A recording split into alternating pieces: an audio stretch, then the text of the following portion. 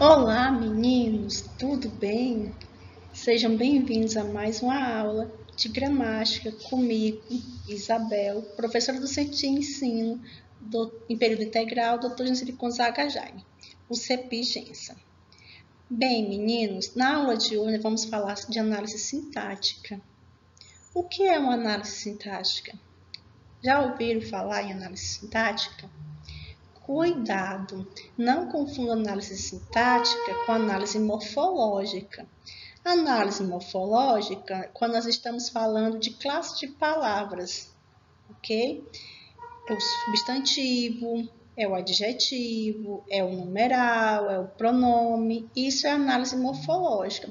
Quando eu estou falando em análise sintática, eu vou falar dos termos da oração: o sujeito, o predicado, o verbo, o complemento o complemento verbal, o complemento nominal, o adjunto adverbial, o adjunto adnominal, o predicativo do sujeito, o predicativo do objeto, o aposto e o e a agente da passiva. Então, tudo isso vai estar integrado ali na minha oração, em algum lugarzinho. E quando estamos fazendo análise sintática, nós vamos identificar cada um desses termos, tá bom? É sobre isso que vamos falar na aula de hoje. Então, vem comigo para mais uma aula e deixa, assiste a nossa aula, deixa o seu up aí no vídeo, beleza?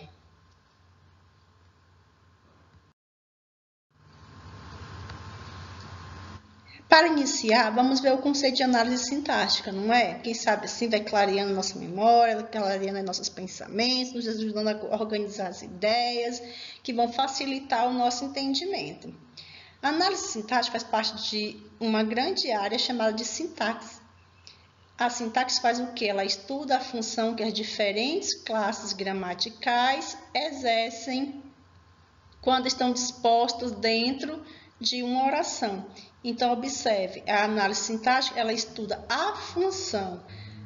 Eu tenho uma classe de palavra e essa classe de palavra, dentro da oração, vai, vai exercer uma determinada função. Ok? Então, é isso que a análise sintática faz: analisar a função da classe gramatical dentro da oração. Olhe bem aqui para esse quadrinho. Nós temos aqui o sujeito, o predicado, o complemento nominal, junta adverbial, aposto, a gente está passivo, o objeto indireto, o objeto direto. Faltou o quê? Faltou o predicativo, não é? O predicativo está aqui escondidinho, que pode ser do sujeito ou do objeto. Esses termos todos fazem parte da oração. Agora, nem toda oração vai ter todos eles, ok? Porém, é necessário conhecê-los para saber identificá-los. E é sobre eles que vamos falar agora. Vem comigo. Ora, Antes de fazer a classificação dos termos de uma oração, deve-se observar se ela é verbal ou nominal, pois a análise sintática é feita apenas em frases verbais, ou seja, eu preciso identificar se a minha frase é verbal ou nominal. Só vou ter análise sintática se eu tiver verbo. Então, eu preciso que a minha frase seja verbal, ou seja, seja uma oração. Após saber disso, tem mais uma questão que eu tenho que saber. Eu devo iniciar o raciocínio lógico pelo período simples. Assim, precisamos encontrar o verbo para descobrir qual é o tipo de período em questão. Veja, eu tenho uma oração. Eu vou olhar para a oração, vou identificar o verbo. Se eu tiver apenas um verbo, essa oração, eu vou chamar também de período simples. Porém, se eu tiver mais de um verbo, eu vou dizer que tenho duas orações ou três orações, dependendo da quantidade de verbo. E aí eu vou dizer que eu tenho um período composto. Tranquilo para vocês? Após encontrar o verbo, nós devemos fazer o quê? Localizar o sujeito. Localizamos o sujeito e vamos procurar pelos complementos, para depois localizar os predicativos que podem ou não estar presentes no contexto. Por fim, depois de encontrar o verbo, sujeito e complementos, deve-se procurar os adjuntos adverbiais ou nominais. Tranquilo? Vou fazer análise sintática. Eu olho para a frase. Encontrei o verbo. É uma oração. Dá para fazer análise sintática? Dá. Tem um verbo só, uma única oração, período simples. tenho mais de um verbo, tenho dois verbos, duas orações, período composto. Encontrei o verbo, eu preciso encontrar o que? O sujeito, a pessoa que está praticando aquela ação expressa pelo verbo. Localizei o sujeito, localizei o verbo. Vou analisar se esse verbo pede complemento. Pede complemento, vou localizá-los. Localizei os, os complementos, vou pensar, analisar se tem predicativos. Tem predicativos? É do sujeito ou é do objeto? Tem que identificá-los, não é? Porém, eles podem estar ou não no contexto. Depois disso, eu tenho que analisar se tem o adjunto adverbial e o adjunto adnominal. Tranquilo? Veja aqui uma frasezinha, um exemplo para nós, bem tranquilo. Os anjos cantam a canção alegres. Dentro dessa, dessa frase, quem é o verbo? Cantam, não é? É uma ação, é um verbo. Se é um verbo de ação, eu vou dizer que é um verbo nocional, porque exprime uma ação, é um verbo. Se é um verbo nocional, exprime uma ação, esse verbo ele é intransitivo não pede complemento ou ele é verbo transitivo, pede complemento? Quem canta, canta alguma coisa, então pede um complemento. Ele é um verbo, ele é um verbo que transitivo. Tranquilo para vocês? Por que, que ele é transitivo, Isabel? Porque ele precisa de complemento. Quem canta, canta alguma coisa, canta algo. Tranquilo? Então, cantam, cantar, verbo transitivo. Encontrei o verbo. O que eu tenho que encontrar depois do verbo? Quem está cantando, não é? Quem está praticando essa ação? Vou identificar o sujeito. Quem é o sujeito? Os anjos. Aqui, ó. Que tipo de sujeito? Se eu tenho apenas um nome, no caso anjos, eu vou dizer que meu sujeito é sujeito simples. E se eu tivesse dois nomes? Os anjos e as ninfas cantam a canção alegres anjos e ninfas. Então, eu teria um sujeito composto. Só tenho um nome, só tenho um núcleo, sujeito simples, tranquilo para vocês? Dentro desse sujeito, quem é o núcleo? Quem é a parte mais importante? Anjos, não é? A gente pode dizer que o núcleo do sujeito é sempre um substantivo, tá bom? A não ser que esse substantivo ele seja, digamos, substituído por um pronome. Eles cantam a canção alegres, aí no caso seria um pronome, mas geralmente é um substantivo. Os anjos cantam a canção alegre, sobrou, né? Eu já sei que o verbo aqui é transitivo, ele pede um complemento. Quem é o complemento desse verbo? A canção. Aí esse complemento eu vou chamar de objeto. E esse objeto, ele é direto ou ele é indireto, gente, que vocês me dizem? Olha, cantam. Quem canta, canta alguma coisa. Os anjos cantam o quê? A perguntinha o quê? Ela não é iniciada por preposição. Logo, o complemento também não é preposicionado. Então, a, canto, a canção é meu objeto direto. Tranquilo? Sobrou o que? Alegres. Os anjos cantam a canção alegres. Quem é que estava alegre? Anjos, não é? Então, se os anjos estavam alegres, alegres está caracterizando o meu sujeito.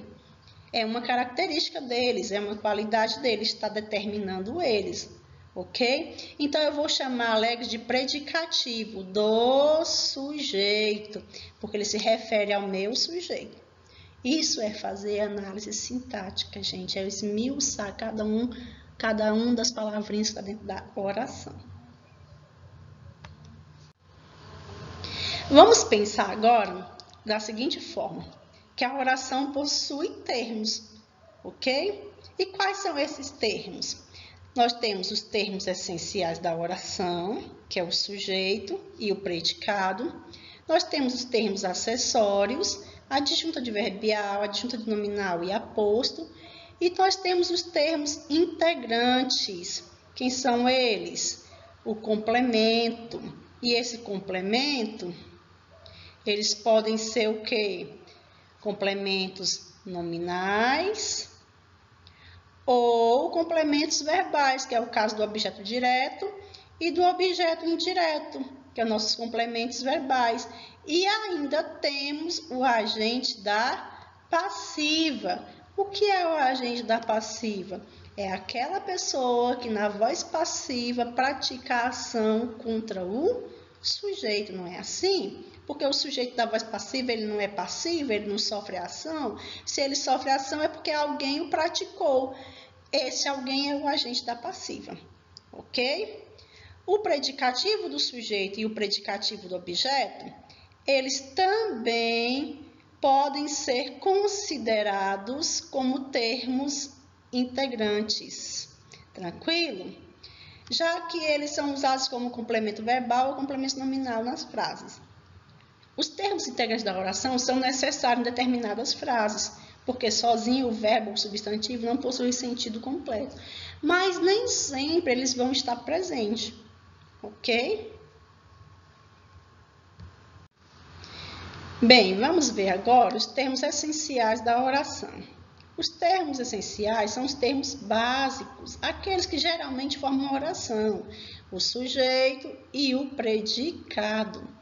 Porém, gente, vale lembrar que nem sempre a oração tem sujeito, ok? Nós vamos ver isso aí depois.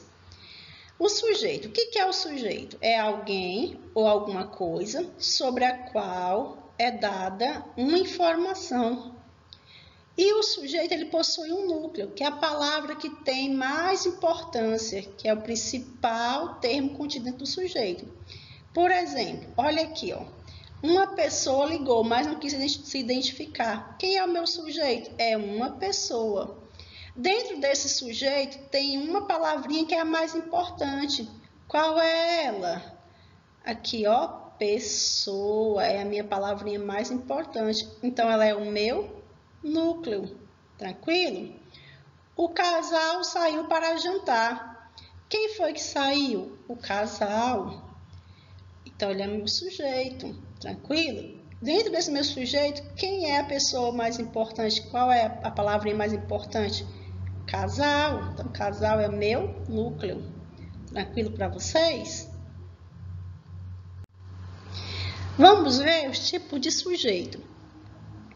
A gramática traz duas classificações básicas para nós, que é o sujeito determinado, quando é identificado na oração, e o sujeito indeterminado, quando não é possível identificá-lo, ok? Quando o verbo que está na oração não se refere a alguém determinado nela, você não consegue determinar quem está praticando a ação do verbo, certinho?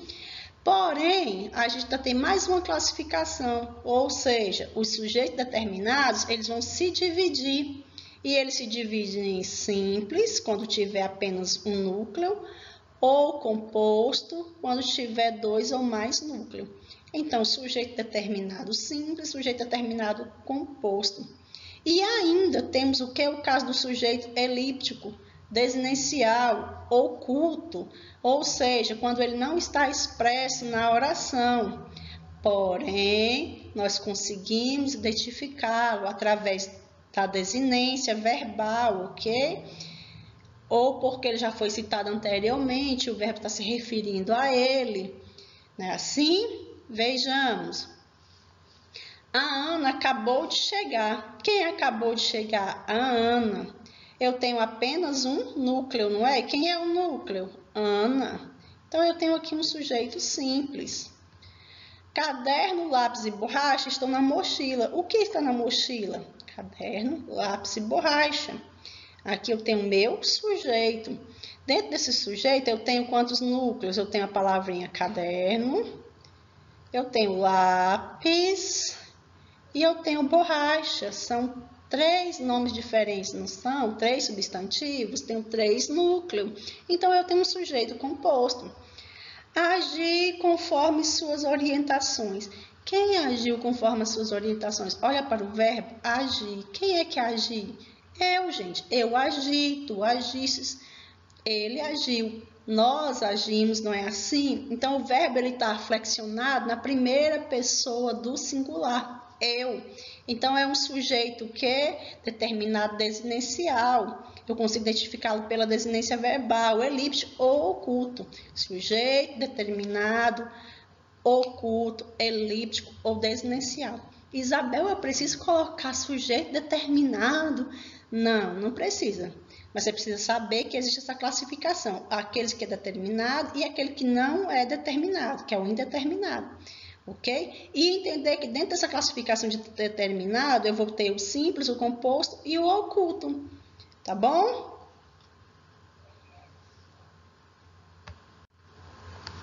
E quando é que eu tenho um sujeito determinado? Ocorre quando não se refere a um elemento identificado de maneira clara. E ele acontece de acordo com três casinhos. Primeiro caso, o verbo está na terceira pessoa do plural, sem que o contexto permita identificar o sujeito. Por quê? Porque, assim, sem que o contexto. Porque, às vezes, o meu verbo ali não está acompanhado de um sujeito, mas ele já foi citado anteriormente. Se ele já foi citado anteriormente, o verbo pode retomá-lo, aí nesse caso ele é oculto. Mas se ele não foi citado anteriormente, o verbo não pode retomá-lo, então ele é indeterminado. E quando o verbo está na terceira pessoa do singular, acompanhado do pronome ser, tá bom? Verbo na terceira pessoa, pronome ser. E também quando o verbo está no infinitivo pessoal, ou está na sua forma infinitiva, quando está terminado com AR. E aí você não consegue identificá-lo, tá bom? Vamos ver um exemplo aqui de sujeito determinado. Estão chamando aí a porta. Aí eu pergunto para vocês: quem está chamando aí a porta? Quem? Qualquer pessoa pode estar chamando, não é? Então é um sujeito indeterminado. Eu não sei a quem se refere essa ação de estar chamando, ok? E vejo que pelo meu contexto, como ele está em uma forma solta, eu não consigo identificar se alguém, se o sujeito foi citado anteriormente. Dentro de um texto, talvez eu consiga identificar, mas aqui só nessa frase eu não posso. Ok? Então, e, e tudo isso que estou falando, ó, estão chamando aí a porta, tudo isso eu vou chamar de predicado. Ou seja, é uma oração que não tem sujeito, o sujeito aí é indeterminado. Estão cham... E tudo que nós temos aí estão chamando aí a porta, eu vou chamar de predicado. Além deles, do determinado e indeterminado, ainda existe a oração, no caso, ainda existe é, o sujeito inexistente. É aquele em que é, eu também posso dizer que é uma oração sem sujeito. Ele é inexistente, então a oração é sem sujeito. E ele ocorre quando a informação veiculada pelo predicado está centrada em um verbo impessoal. Isabel do céu. O que é verbo impessoal? São aqueles verbos que não podem ser conjugados, não é, gente? Não pode ser conjugado nas pessoas do discurso. Eu, tu, ele, nós, vós. São os que expressam o fenômeno da natureza, o verbo haver, certinho? E o que mais? E o fazer, quando dá uma ideia de tempo. Tranquilo para vocês? Esses são os verbos impessoais. É, vamos lembrar assim: os fenômenos da natureza, o verbo haver, quando trouxer a ideia de existir, e o fazer, quando traz uma ideia de tempo. Olha, faz tempo que não o vejo, faz anos que não o vejo. Então, é nesse caso aí, esse faz anos que não o vejo, esse verbo fazer ele é impessoal, né? O verbo haver, havia alunos na sala. Esse havia alunos na sala, eu posso trocar por existir? Existiam alunos na sala. Então, esse havia aí é impessoal. O verbo haver, no sentido de existir, ele é impessoal. Então, é havia alunos na sala. Não tem sujeito. E com fenômenos da natureza? Choveu muito em Manaus. Observe, choveu muito em Manaus é meu predicado, porque o verbo chover não é possível de ser conjugado nas pessoas do discurso, ele é um verbo impessoal. Vamos agora falar do segundo termo essencial da oração, que é o predicado. É a informação que se dá sobre o sujeito. Ao identificar o sujeito da oração, todo o resto faz parte do predicado. E se não tiver sujeito naquela oração, então tudo que você tiver na oração também é predicado. De acordo com o seu núcleo significativo, os, ver, os predicados são classificados em três tipos: predicado verbal, predicado nominal e predicado verbo nominal. Vamos analisar cada um deles agora? Predicado verbal hum, indica uma ação sendo constituído por um núcleo, que é um verbo nocional. Lembre-se, verbo nocional é aquele que indica uma ação. É o verbo intransitivo ou transitivo. Nesse caso, não há presença de predicativo do sujeito. Ou seja, eu não preciso de nenhum elemento caracterizando o meu sujeito da oração. Eu só preciso de sujeito e predicado. Ou de sujeito, desculpa, só preciso de sujeito e verbo. Tá bom? Vejamos, nós caminhamos muito hoje. Tranquilo para vocês? Vou pensar assim: cadê o sujeito? É nós, não é? Identifiquei o sujeito. Tudo que sobrou é predicado. Caminhamos muito hoje. Caminhar é um verbo nocional? Sim, não é? Expressa uma ação. Então, observe que dentro do meu predicado eu tenho um verbo nocional. E esse muito hoje está se referindo a caminhar. Então, é apenas um predicado verbal. Tranquilo? É, cheguei hoje de viagem. Pergunto para vocês, tem sujeito? Sujeito oculto. Quem é que cheguei? Eu cheguei hoje, né, gente? Então, tudo que eu tenho aqui, ó, é predicado. Tudo isso aqui é predicado, porque o meu sujeito ele está oculto. Cheguei hoje de viagem. Quem? Eu cheguei. Beleza? Então, sujeito oculto. Tudo que eu tenho é predicado. Dentro do predicado, eu tenho um verbo, chegar. É uma ação? Sim, é um verbo nocional. Cheguei hoje. Então, cheguei, verbo nocional, e esse hoje de viagem também só se refere à ação de chegar. Não está trazendo nenhuma característica, não está delimitando o sujeito. Então, não há predicativo. Então, mais uma vez, eu tenho um predicado verbal. Mais outro exemplo, para ficar bem claro mesmo. O cliente perdeu os documentos. Quem é o sujeito? Cliente. Tudo que sobrou, predicado, perdeu os documentos. Dentro do meu predicado, quem é o meu verbo? É o perdeu. Perder é uma ação? É, não é, gente? É um verbo que traz uma no... é um verbo nocional? É. Então eu tenho o quê? um verbo nocional, tem um verbo transitivo aqui, ó, gente. Perdeu o quê? Os documentos, não é? Quem é o núcleo do predicado? É o verbo perdeu. Esses documentos se referem apenas ao verbo. Então, é um, novamente, é um predicado verbal. Tranquilo? Vamos ver o outro tipo? Nominal. Indica estado ou qualidade sendo constituído por um verbo de ligação. O que é um verbo de ligação, Isabel? Aqueles que não expressam ação nenhuma, eles indicam apenas o que? O estado. E o predicativo do sujeito. Então, para mim ter um predicado nominal, preciso de dois elementos: de um verbo de ligação e um predicativo do sujeito. Isabel, o que é o predicativo do sujeito? É aquilo que complementa o sujeito atribuindo-lhe uma qualidade, uma característica, um estado. Ok? Há somente um núcleo caracterizado por um nome, substantivo ou adjetivo. Por exemplo, Alain está feliz. Quem é o sujeito? Alain.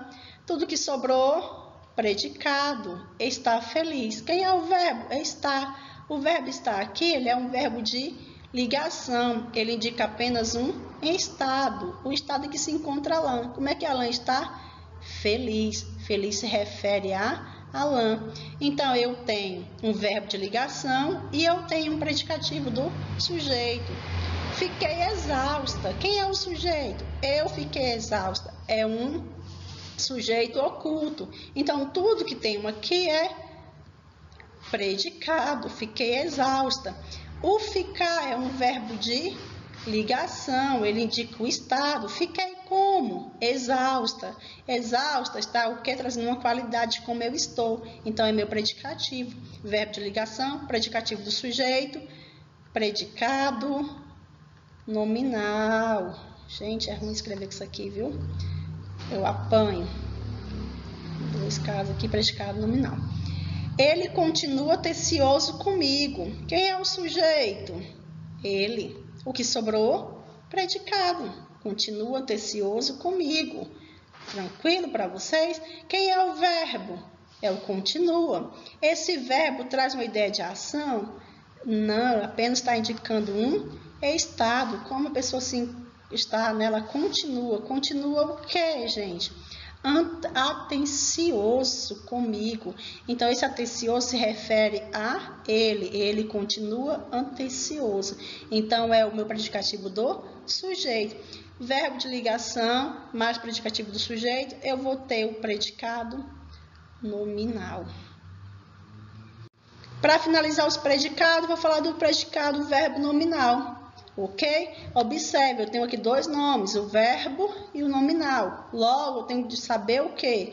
Que ao mesmo tempo que indica a ação do sujeito, esse tipo de predicado informa sua qualidade ou estado.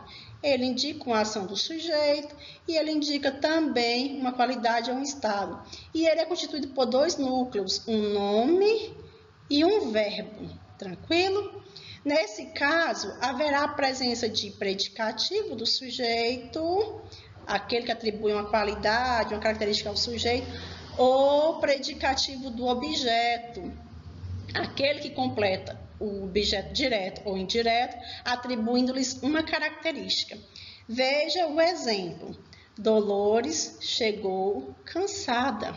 Quem é o sujeito da oração? Dolores. Quem é o predicado verbo nominal chegou cansada. Como é que eu sei que é predicado verbo nominal? Veja, eu tenho um verbo, que é um verbo de ação, é um verbo nocional, chegar, e eu tenho o que é o cansada, que é uma característica de quem? De Dolores. Como Dolores estava? Ela estava cansada. Então, predicativo do sujeito. Eu tenho um verbo que indica uma verbo nocional, que é o chegar, que é um verbo intransitivo, VI aqui, ó. E eu tenho o predicativo do sujeito aí, que é o cansado, atribuindo uma qualidade a Dolores. Então, eu tenho um predicado, verbo nominal. Mais um exemplo, Fernando chegou ofegante à aula. Quem é o sujeito? Fernando. Predicado verbo nominal. Por quê? Porque o verbo chegar, aqui presente, indica uma ação. Ele é um verbo nocional. E como é que estava Fernando? Ofegante. Ofegante é uma característica, uma qualidade, né? uma característica de Fernando. Então, predicativo do sujeito. Novamente, verbo de ligação mais predicativo do sujeito, predicado, verbo nominal. Para identificar o predicado verbo nominal, o verbo que indica a ação, ele está expresso na oração. Vocês percebem isso? Assim, né? Todos eles o está. O chegou e o chegou aqui, é o verbo que indica a ação. O verbo que indica estado, qualidade, por sua vez, ele está oculto. Olha no exemplo assim, em cima. Assim, Dolores chegou. Ele caracteriza o verbo nocional, não é? Que é o chegar, o qual representa a ação do sujeito. Ele está presente. Enquanto que estava cansada indica o estado do sujeito, onde o verbo não nocional, o verbo de ligação, ele não aparece declarado na frase. Tranquilo para vocês? Olha. Dolores chegou e estava cansada. Observe que o esse estava e ele não aparece na oração. Tranquilo? Então, assim, o predicado verbo nominal, você tem que perceber que é o verbo nocional ele está presente, o verbo não nocional ele não aparece na oração. Tranquilo? O que vai aparecer na oração é um predicativo do sujeito ou um predicativo do objeto. Bem, obrigada pela atenção de vocês. Espero que vocês tenham gostado. No caso de dúvida, vai lá na nossa sala de WhatsApp e pergunta, tá bom? Beijo e até a próxima.